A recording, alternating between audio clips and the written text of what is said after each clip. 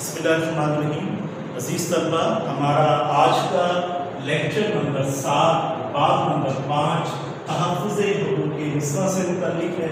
इस लेक्चर में हमारा मौजू पंजाब तहफ़ नस्वा तशद एक्ट दो हज़ार सोलह के नुमाया बदोखात है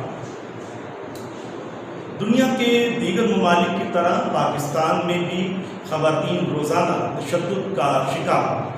यही वजह है कि पाकिस्तान हकूक़ नस्वा की सूरत हाल तसली बख्श पाकिस्तान में ख़वान मुख्तलिफ़ ख़वान को मुख्तलिफ़ तरीक़ों से तशद का निशाना बनाया जाता है।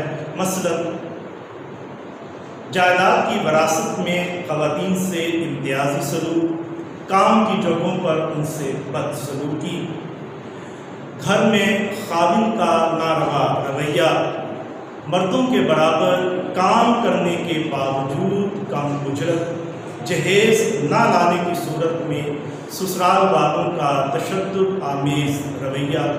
लड़कियों की तालीम के मामले में वालदेन की तंग नज़री वगैरह कानून, किसी हद तक ख़वान के हकूक़ के तहफ़ के लिए कोशा ज़रूर रहा है, लेकिन अपने हकूक़ की बाजियाबी के लिए ख़वान की अदालतों तक रसाई आसान चुनाचे इन्हीं अमूर को मद्देनज़र रखते हुए पंजाब हुकूमत ने तशद की सूरत में ख़वान के तहफ़ का एक्ट दो हज़ार सोलह में पंजाब असम्बली में पेश किया, जिसे 24 फरवरी 2016 को मुतफ़ा तौर पर मंजूर कर दिया।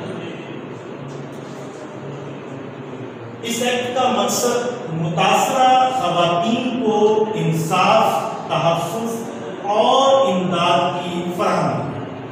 पाकिस्तान की तारीख में पहली मरतबा इस एक्ट के ज़रिए मुतासर खवातीन को मदरजा से जराइम से जाम तहफ़ दिया घरेलू तशद यानी घरेलू बदसलूकी वगैरह जज्बाती और नफसियाती मुआशी तंगी पीछा करना, यानी ताकुब करना साइबर क्राइम्स यानी मोबाइल कंप्यूटर या इंटरनेट के ज़रिए किए जाने वाले जराइम या धमकी। अज़ीज़ इस एक्ट के ज़रिए खवातीन के तहफ़ के लिए किए गए चंद अहम इकदाम ये हैं। मुतासर खवातीन के लिए यूनिवर्सल टोल फ्री नंबर एक हज़ार तैतालीस का इजरा जहाँ वो तशद की सूरत में शिकायत कर सकते हैं। तमाम अजला में इंसदाद तशद मरकज़ बनाए खवातीन और दारुल अमान मराकज़ का क्याम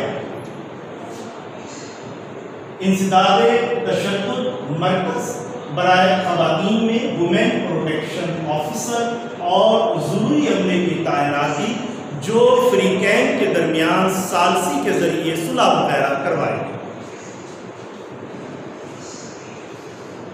मुतासर खवातीन तहफ़ या रिहाइश के लिए प्रोटेक्शन ऑफिसर अदालत से रजू कर सकती है। अदालत इस एक्ट के मुताबिक शिकायत का अजाला करने की पाबंद अदालत शिकायत को नब्बे यौम के अंदर निपटाए अज़ीज़ तलबा, ये था हमारा आज का लेक्चर। इन अपने अगले लेक्चर में एक और मौजू के साथ हम आपकी खिदमत में हाजिर होंगे। उस वक्त तक के लिए इजाज़त दीजिए। अल्लाह हाफ़